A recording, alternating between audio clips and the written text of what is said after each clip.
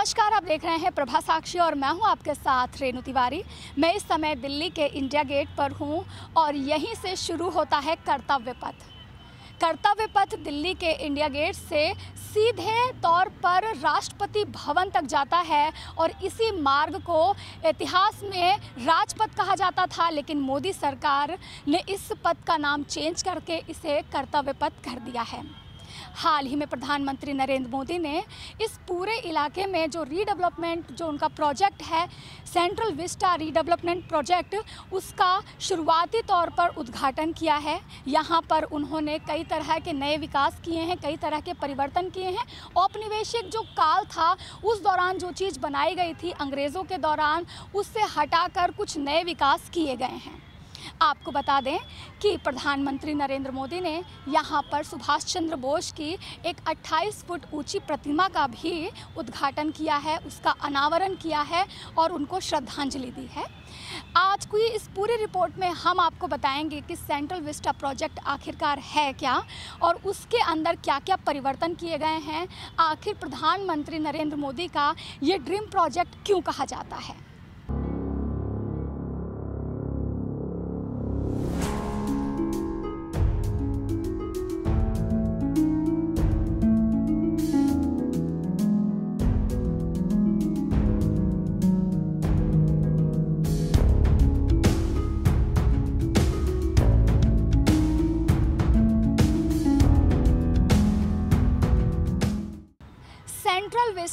Project. Central vista redevelopment project. ये प्रधानमंत्री नरेंद्र मोदी का ड्रीम प्रोजेक्ट कहा जाता है। इसमें कई तरह का जो परिवर्तन है, वो रेल भवन, राष्ट्रपति भवन, संसद, तमाम तरह के जो लुटियन जोन, जो सेंट्रल दिल्ली में स्थित जो हमारी सरकारी इमारतें हैं, सरकारी ऑफ़िस हैं, उसमें परिवर्तन किए जाने का एक प्रोजेक्ट है, जिसके लिए 608 करोड़ रुपए का भारत सरकार खर्च कर रही है और इसी वजह से ये प्रोजेक्ट काफ़ी ज़्यादा चर्चा में है। आपको सेंट्रल विस्टा प्रोजेक्ट के जो अंतर्गत चीज़ें डेवलप की जा रही हैं, उसका एक मकसद ये भी है कि औपनिवेश काल की जो हमारी यादें हैं, उसको ख़त्म करना। इसके अलावा अगर बात करें औपनिवेशिक काल के दौरान हमारी सेंट्रल दिल्ली के बारे में जो इंडिया गेट है और वो जो सामने से उसके गुजरता हुआ राजपथ है, राजपथ जो है, वो राष्ट्रपति भवन तक जाता है और यहीं पर ही, राजपथ पर ही इंडिया गेट की जो परेड होती है 26 जनवरी के दिन, वो भी इसी पथ से होकर गुजरती है। यहीं से राष्ट्रपति को जो परेड होती है, वो सलामी देती है। अब इसको बहुत अच्छे तरीके से परिवर्तित कर दिया गया है। आइए आपको दिखाएँगे कि सेंट्रल विस्टा रीडेवलपमेंट प्रोजेक्ट के अंदर कैसे राजपथ को कर्तव्य पथ बनाया गया और कैसे यहाँ का कायाकल्प किया गया है।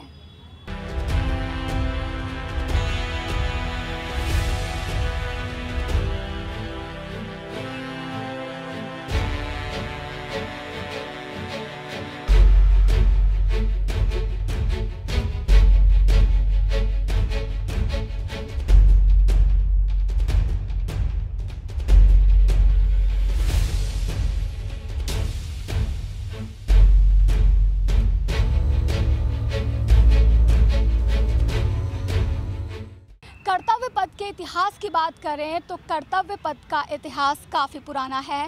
कर्तव्य पथ इंडिया गेट से लेकर राष्ट्रपति भवन तक लगभग साढ़े तीन किलोमीटर एक लंबा और चौड़ा रास्ता है। ये काफ़ी ऐतिहासिक है, क्योंकि 26 जनवरी की जो परेड है, वो इसी मार्ग पर होती है। इतिहास में इस पद को किंग्स वे कहा जाता था, लेकिन जब भारत सरकार आई तो उसने किंग्स वे का नाम बदलकर राजपथ कर दिया। और अब राजपथ का नाम बदलकर मोदी सरकार ने कर्तव्य पथ कर दिया गया है। लॉजिक ये दिया जा रहा है कि राजपद यानी कि राजाओं का मार्ग हुआ करता था। अब ये मार्ग कर्तव्य का मार्ग होगा। यानी कि हमारे जो कर्तव्य हैं, वो इस मार्ग से जुड़े हुए हैं। यहाँ कोई राजा नहीं, कोई राजशाही नहीं, ये लोकतंत्र कहा जाता है। इस वजह से राजपथ का नाम कर्तव्य पथ कर दिया गया है। इसके अलावा आपको बता दें कि राजपथ का नाम जो बदला गया है, वो एनडीएमसी द्वारा बदला गया है। ये एक बैठक के दौरान ये फैसला किया गया था। इसके अलावा अगर इतिहास की बात करें तो राजपथ कर्तव्य पथ का जो इतिहास है, वो 1911 से जुड़ा हुआ है। उस दौरान हमारे जो भारत में अंग्रेज़ी शासन हुआ करता था और भारत की जो राजधानी है, वो कोलकाता हुआ करती थी। लेकिन कोलकाता में बहुत ज़्यादा विरोध प्रदर्शन हो रहा था और अंग्रेज़ काम काज नहीं कर पा रहे थे, जिसके कारण किंग्स जॉन पस्टम भारत आए और उन्होंने कोलकाता से हमारी जो राजधानी थी भारत की, वो स्थानांतरित कर दी दिल्ली। और दिल्ली को नए सिरे से बनाया गया, कामकाज के लिए यहाँ पे ऑफिसेज बनाए गए, भवन बनाए गए, जो आज भी हमारे ऐतिहासिक इमारतों के रूप में जाने जाते हैं। किंग्स जॉर्ज पस्टम ने इस पूरी जो इलाका है, इसका जो डिज़ाइन बनाने का जो ज़िम्मा था, वो एडविन लुटियन को दिया था और हार्बर टैबर को दिया था। उन्होंने इस पूरे इलाके को डिज़ाइन किया था और आज भी वही डिज़ाइन यहाँ पर अपनाया गया है। सेंट्रल विस्टा रीडेवलपमेंट प्रोजेक्ट के अंदर इसमें कुछ नयापन लाया जा रहा है और औपनिवेशिक जो काल था, उसकी जो यादें जुड़ी हुई थी, उसके सामान थे यहाँ पर, उसको हटाया जा रहा है और नए सिरे से आत्मनिर्भर भारत का एक संकेत दिया जा रहा है। दिल्ली में अहम इमारतें बनाने का जिम्मा एडविन लुटियंस और हर्बर्ट बेकर को दिया गया। इन दोनों ने ही सेंट्रल विस्टा को डिज़ाइन किया।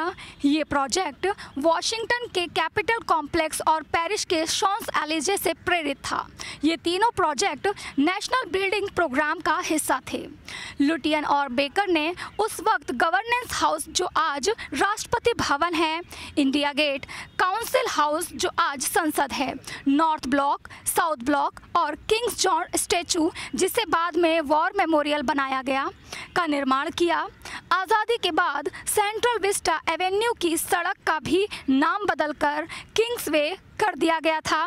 बाद में इसे राजपथ बना दिया गया, जिसका नाम आज कर्तव्य पथ हो गया है।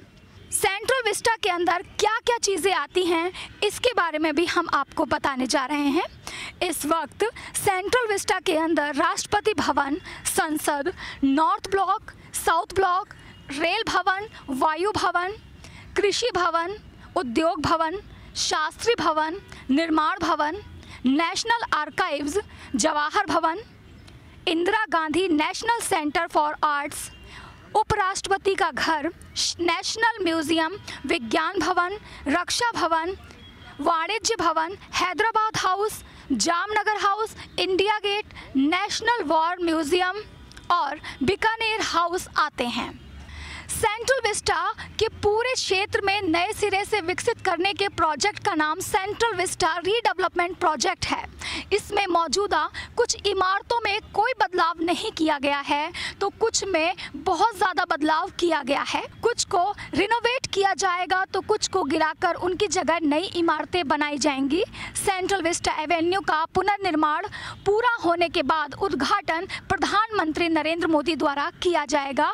फ़िलहाल उन्होंने इंडिया गेट से लेकर राष्ट्रपति भवन तक का जो एक शुरुआती दौर था, उसका काम पूरा करने के बाद इसका उद्घाटन कर दिया है। इंडिया गेट जो है, वो हमेशा से ही पर्यटकों की खूबसूरत और सबसे फेवरेट डेस्टिनेशन रहा है। यहाँ पर सबसे ज़्यादा दिल्ली घूमने वाले लोग यहाँ पर आते हैं और यहाँ की जो विकास है, यहाँ की जो खूबसूरत इमारतें हैं, जो इंडिया गेट है, राष्ट्रपति भवन है, कर्तव्य पथ है, उसको देखते हैं। लेकिन सेंट्रल विस्टा रीडेवलपमेंट प्रोजेक्ट के अंदर यहाँ पर कई तरह के विकास किए गए हैं। अगर आज आप आते हैं वीकेंड पर अगर आप दिल्ली घूमने आ रहे हैं, इंडिया गेट देख रहे हैं हैं। तो आप देखेंगे यहाँ पर किस तरह का विकास कर दिया गया है। अंडरपास बना दिया गया है। नई नई घासें लगाई गई हैं और फूल बनाए गए हैं। बहुत अच्छी क्यारियाँ बनाई गई हैं। साथ ही जो लेक थी यहाँ की, जो एक समय में बहुत ज़्यादा गंदा हो गया था, बहुत ज़्यादा सूख गई थी। बिल्कुल भी जिसमें अच्छा लोग बच्चे नहाते थे, इस तरह की चीज़ें हो गई थी। उसे नए सिरे से बनाया गया है। आप मेरे पीछे ये नहर देखेंगे। ये लेक है, जो कृत्रिम लेक कहा जाता है जिसे। आप देखेंगे यहाँ पर जो फुआरा है, उसके ज़रिए लगातार पानी चेंज किया जा रहा है और लेक का जो पानी है, वो पूरा अभी साफ़ नज़र आ रहा है। अगर आप देखेंगे यहाँ पर किस तरह से जहाँ पर वो बजरी कंक्रीट की जो सड़कें थी, वहाँ पर अब मार्बल के पत्थर लग गए हैं। बहुत साफ़ सुथरा तरीके से इसे बनाया गया है। जिस तरह से एक आप राजघाट देखते थे, उसी तरह से राजघाट का भी लुक यहाँ पर देने की कोशिश की गई है। जो घासें थी, जो बहुत ज़्यादा सूख चुकी थी, ख़राब हो चुकी थी। नए सेंट्रल विस्टा प्रोजेक्ट के अंदर उसे भी नए सिरे से लगाया गया है। साफ़ सफ़ाई का बहुत ध्यान रखा गया है। सिक्योरिटी का भी काफ़ी ज़्यादा ध्यान रखा गया है। तो आप देख सकते हैं कि किस तरह से इस पूरे इलाके की काया पलट दी गई है। मोदी सरकार ने यहाँ पर 608 करोड़ रुपए जो सेंट्रल विस्टा प्रोजेक्ट के अंदर लगाए हैं, उसके तहत ये शुरुआती तौर पर काम किया गया है। सेंट्रल विस्टा रीडेवलपमेंट प्रोजेक्ट के अंदर जो एवेन्यू वाला पार्ट है, उसमें कुछ परिवर्तन किए गए हैं। तो आप इन परिवर्तनों को साफ़ तौर पर देखेंगे। यदि अगर आप पहले इंडिया गेट आए हुए हैं तो आप देखेंगे कि जब आप इंडिया गेट यानी कि राजपथ से सीधे चलते थे, जो उसके किनारे जो जगह होती थी, वहाँ पर वो जो बदरपुर की कंक्रीट वाली जो जो बालू होती है, जो मिट्टी होती है, उसका मार्ग बना हुआ था। लेकिन आज जो मार्ग है, आप मेरे नीचे देखेंगे यहाँ पे। यहाँ पे जो मार्ग है, वो पत्थर लगा दिए गए हैं और ये जो चलने के लिए जो रास्ता एक अच्छे से तैयार कर दिया गया है, आप देखेंगे, ये पूरी तरह से यहाँ पे पत्थर लगा दिए गए हैं। अगर आप पुराने से कंपेयर करें तो पुराने टाइम में जो इस, जो सेंट्रल विस्टा से पहले का जो टाइम था, उसमें ये पूरी जगह पे एक बदरपुर बिछाया हुआ था। उसके द्वारा मार्ग बनाया गया था, उसके आसपास क्यारियाँ थी फूलों की, लेकिन अब यहाँ से पूरी तरह से चीज़ें हटा दी गई हैं। आप देखेंगे जल निकासी के लिए यदि यहाँ पर पानी भर जाता है या फिर किसी तरह की मतलब बारिश होती है, बहुत ज़्यादा पानी भर जाता है तो जल निकासी के लिए भी यहाँ पर चीज़ें बनाई गई हैं। ये आप देख सकते हैं। और अगर बात करते हैं कि पुरानी चीज़ों में से अभी क्या है तो ये जो चैन है, अगर आप पहले के कंपैरिजन में देखेंगे, ये जो चैन है, ये चैन उसी तरह से है जो पहले थी। बस इसको पॉलिश कर दिया गया है। इसमें तमाम तरह की चीज़ें जो और भी जो कहीं से टूटी फूटी थी, उन्हें ठीक कर दिया गया है। इसके अलावा जो औपनिवेशिक काल के लैंप थे, उसको भी इसी तरह से देखेंगे आप। ये इसमें, इसके डिज़ाइन में कोई परिवर्तन नहीं किया गया है। ये भी उसी तरह से आप लैंप को देखेंगे, उसी तरह से हैं। इसमें कोई परिवर्तन नहीं किया गया है। और बाकी अगर आप देखेंगे तो सुविधा के मामले में साफ़ सुथरे जो यहाँ पे जो फैसिलिटीज़ कर दी गई हैं, उसके मामले में अंडर पास बना दिया गया है। अगर लोग, पहले क्या होता था, लोगों को ये जो क्रॉस है रोड क्रॉस है, यहाँ से सारी, बहुत सारी बसें होके गुजरती हैं, इसको, इसका जब रेड लाइट होती थी, तब उसे पार कर पाते थे, लेकिन उन्होंने सेंट्रल विस्टा प्रोजेक्ट के अंदर उन्होंने अंडर भी बनाया गया है और हर जगह एक जो स्टैब्लिश जो डस्टबिन होते हैं, उसे बनाया गया है। ताकि लोग उसमें कचरा डालें, ना कि यहाँ पर बाहर फैलाएँ। इवन एक चीज़ और की गई है, यहाँ पर जो खुला सामान बेचते थे, पहले आप अगर आते होंगे इंडिया गेट में तो आपने ज़रूर देखा होगा कि लोग टॉफ़ी, चाय, बहुत तमाम तरह की चीज़ें खुले में बेचते रहते थे, लेकिन उस पर पाबंदियाँ लगा दी गई हैं। अब जिनको राइट होगा, जिनको मिला होगा कि वो यहाँ पर बेच सकते हैं लाइसेंस मिला होगा, बस वही लोग यहाँ पर सामान बेच सकते हैं खुले में। मोदी सरकार की तरफ़ से उनका ड्रीम प्रोजेक्ट है ये सेंट्रल विस्टा जिसके अंतर्गत ये इस समय जो राजपथ वाला एरिया था जिसे अब कर्तव्य पथ बना दिया गया है इसमें जो कंस्ट्रक्शन किया गया है चेंजेस किए गए हैं इसको आप किस तरह से देख रहे हैं?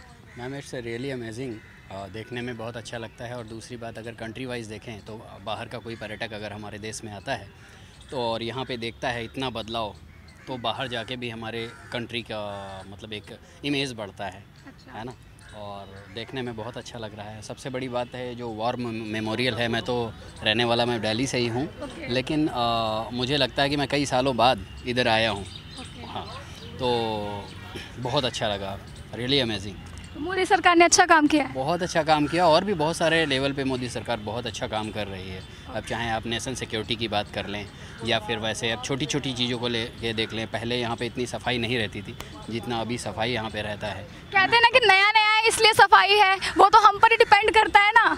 हाँ वो हम पे बिल्कुल मैम, आप ठीक कह रहे हैं कि वो हम पे डिपेंड करता है, लेकिन कोई राह दिखाने वाला तो चाहिए। पहले कभी ने सोचा किसी के अंदर ये छोटा सा थॉट प्रोसेस नहीं आया ना, है ना? अगर छोटी सी बात करें हम विलेज विलेज वगैरह को लेके तो आज की डेट में जो भी इनकी योजनाएँ चली, है ना?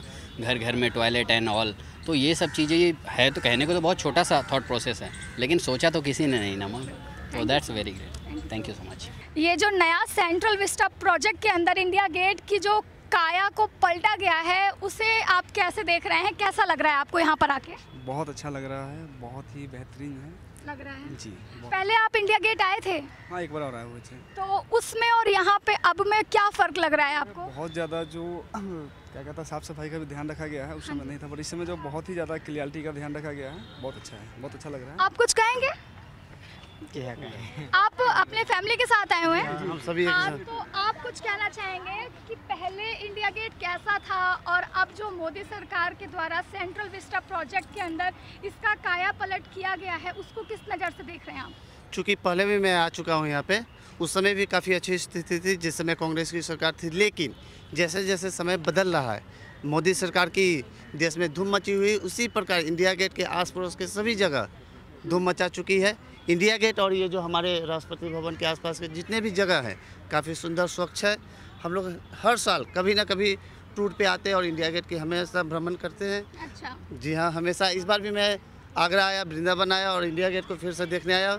यहाँ देखने के बाद हमें अपने भारतीय संस्कृति पे काफ़ी गौरव महसूस होती है। हम लोग यह कहना चाहते हैं हमारा इंडिया जिंदाबाद भारत जिंदाबाद। Thank you. आज के इस खास रिपोर्ट में हमने आपको दिखाया है सेंट्रल विस्टा डेवलपमेंट प्रोजेक्ट के बारे में, जहाँ आपको बताया है कि इंडिया गेट से लेकर राष्ट्रपति भवन तक का जो एरिया है, जो एवेन्यू है, उसको बहुत अच्छे से रीडेवलपमेंट कर दिया गया है इस पूरे एरिया का और क्या क्या चीज़ें यहाँ पर परिवर्तित कर दी गई हैं। बात करते हैं कि लोकसभा में चार प्रोजेक्ट के बारे में प्रधानमंत्री नरेंद्र मोदी की सरकार द्वारा इस सेंट्रल विस्टा प्रोजेक्ट के बारे में बताया गया था और इसके लिए 608 करोड़ रुपए का एक प्रोजेक्ट भी पास किया गया था, बजट भी पास किया गया था, जिसके तहत ये सारी चीज़ें बनाई जा रही है। अब तक चार सौ इकहत्तर करोड़ रुपए खर्च किए जा चुके हैं और काफ़ी काम हो चुका है। माना जा रहा है संसद भवन का भी 70 परसेंट काम हो चुका है। आगे आगे जैसे जैसे जो जो काम होता जाएगा, प्रधानमंत्री नरेंद्र मोदी स्वयं आके खुद उस चीज़ की जानकारी मीडिया को देते रहेंगे, आप लोगों तक पहुंचाते रहेंगे। ऐसे ही लेटेस्ट अपडेट के लिए देश दुनिया की तमाम खबरों के लिए आप बने रहे प्रभा साक्षी के साथ। नमस्कार। अगर आप भी लेना चाहते हैं देश दुनिया की तमाम जानकारी तो आज ही सब्सक्राइब करें हमारे चैनल को। साथ ही नीचे दिए बेल आइकन को ज़रूर दबाएँ ताकि हर अपडेट आप तक पहुँच सके।